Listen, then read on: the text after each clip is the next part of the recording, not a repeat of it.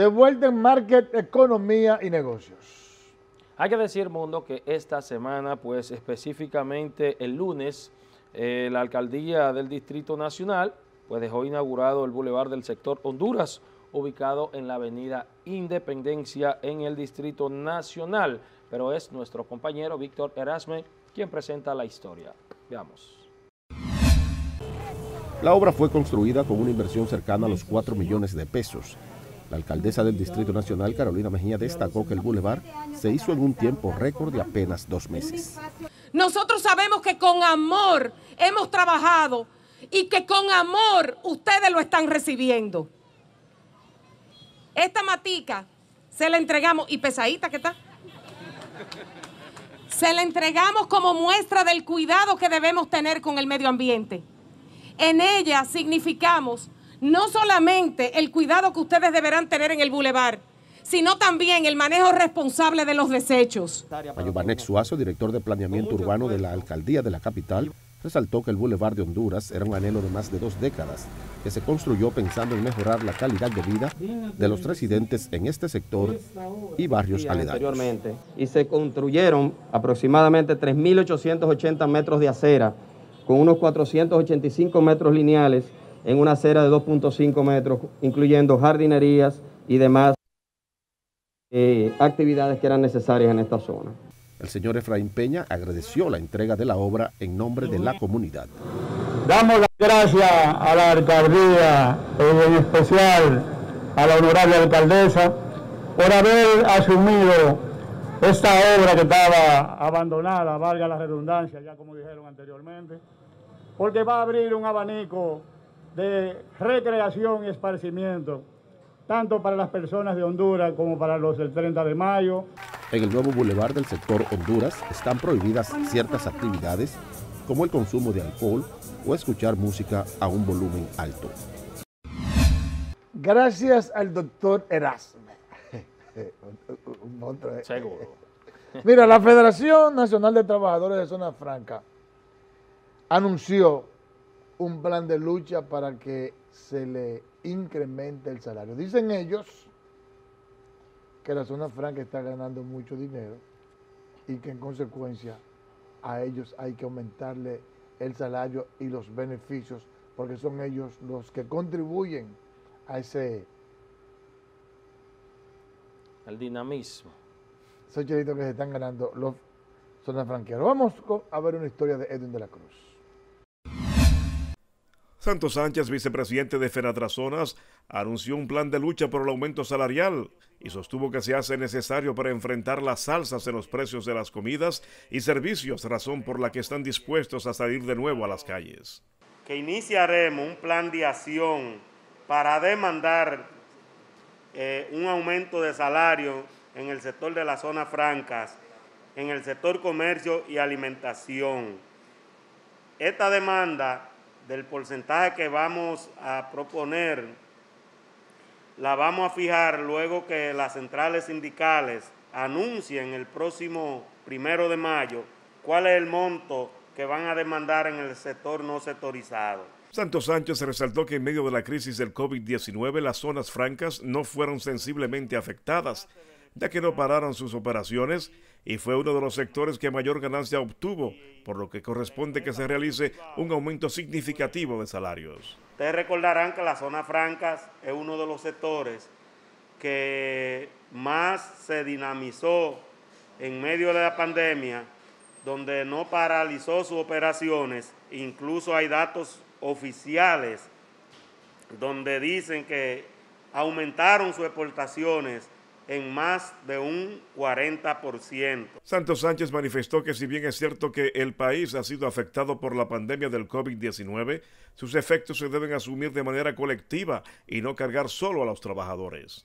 Los trabajadores están inconformes con la distribución que han hecho, igualmente que en Pollo Cibao, que hasta 3 mil pesos le han entregado de bonificación y eso es injusto porque estas empresas han aumentado su ganancia.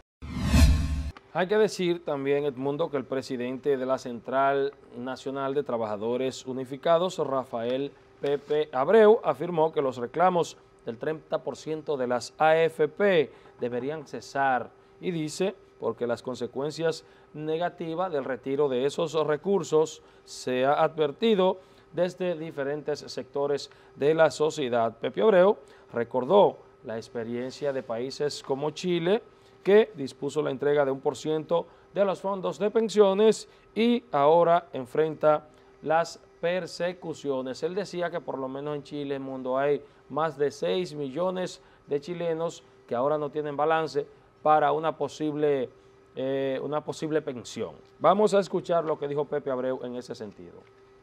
No la manera en que este señor lo ha planteado, que es prácticamente un desmonte del sistema, que ya se hizo en Chile, señores, ¿y qué está diciendo Chile? ¿Qué está diciendo la CU chilena, la Confederación de Trabajadores Chilenos? ¿Qué está diciendo el, el Ministerio de Hacienda de Chile? Usted sabe lo que está diciendo.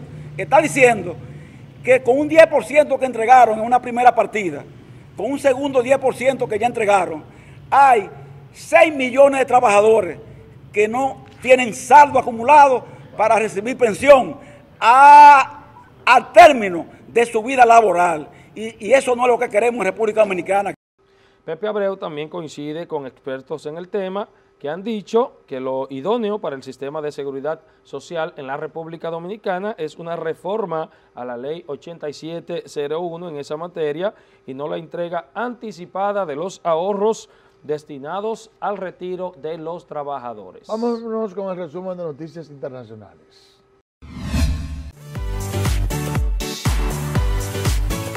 El Banco Caribe incrementó en 1.358.1 millones de pesos su cartera comercial al pasar de 3.494 millones de pesos en el 2019 a 4.852.1 millones en el 2020, reflejando un aumento de un 38.9%. El presidente de la entidad precisó que los activos totales del banco en el 2020 sobrepasaron los 29.500 millones de pesos, que representan un aumento de un 27% respecto al año anterior mientras que los activos productivos ascendieron a 21.447 millones, un incremento de un 24.6%, con una cartera de crédito superior a los 15.100 millones de pesos. Presidente Luis Abinader enumeró ante empresarios españoles las múltiples operaciones de negocios que representa la República Dominicana, por lo que se ha convertido en el primer destino de inversión del Caribe. Se trató de un segundo encuentro empresarial en el anfiteatro Gabriela Mistral de la Casa América, organizado por la Cámara de Comercio de la República Dominicana en España y el Consejo Empresarial Alianza por Iberoamérica. El gobierno dominicano estima que el déficit habitacional que existe en el país es de alrededor de 2 millones de viviendas las autoridades consideran que en el pasado poco se ha hecho para resolverlo. El viceministro de Proyectos de Inversión de la Presidencia dijo que durante las anteriores administraciones se hicieron proyectos urbanísticos puntuales para resolver la situación de familias pobres o en zona de riesgo, pero que eran pero que no eran planes sostenidos de viviendas hacia el mediano plazo como el que desde este fin de semana se inició con Familia Feliz. La actividad económica en Brasil avanzó 1.70% en febrero de este año frente a enero, un resultado mejor de lo esperado por los analistas del mercado financiero. El llamado índice de actividad económica del emisor brasileño, considerado como una medición previa del Producto Interno Bruto, encadenó así su décima subida consecutiva y ya se sitúa en niveles registrados antes del inicio de la pandemia del coronavirus. El Banco Central de Venezuela reportó una variación de la inflación de 16,1% en marzo, un incremento de 43,5% superior al registrado por el Observatorio Venezolano de Finanzas, un inédito 9,1% para el mismo mes.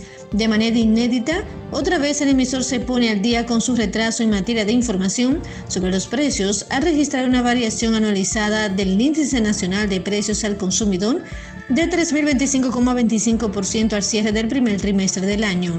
En tanto, la inflación acumulada de los primeros tres meses de 2021 fue de 127,8%.